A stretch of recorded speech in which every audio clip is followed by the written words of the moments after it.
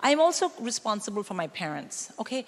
And my parents, you know, they're aging, but here's the thing they used to just be old, like they forgot stuff, but now they have moved from old to completely over the hill and are now living on a planet distant from everybody else, which is protected by a force field of bullshit logic that nobody can ever penetrate, okay?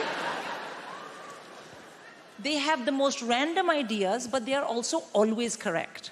And there's nothing I can do. I'm responsible for these two. Let me tell you, um, last year I had a bunch of sold out shows. I was super excited. And I met my parents, they were in India, and I said to them, I said to my mother, I said, Ma, I had all these sold out shows. What do you think? Because what did I want from my parents? We always want praise from our parents. So I said, Mommy, I had sold out shows. Isn't that great? And my mother said, Yes, sold out shows. It's very great. Can you tell me the name of every single person who purchased a ticket? Because I will put a fruit for them in the temple.